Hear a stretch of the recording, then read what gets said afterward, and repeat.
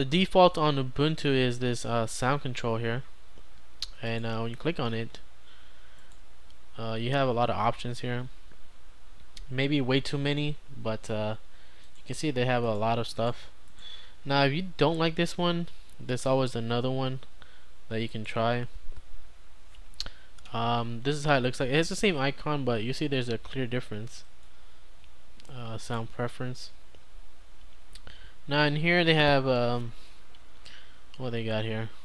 Input output and sound effects. Uh, what I like about this one has the applications one uh, and the applications is um, whatever you you you have open like uh, your movie player or your Rhythmbox anything that has like an audio stream you can actually uh, control that um, with muting or the maximum volume of it. You can limit it or lower it so you know it doesn't annoy you too much. So that's what I like about this one.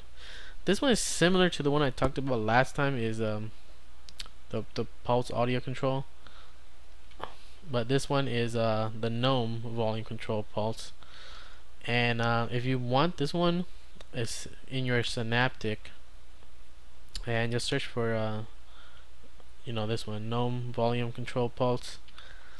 And uh, just get that one and next time you log in um, you have to log out log in and then you get the new uh, icon which is this one.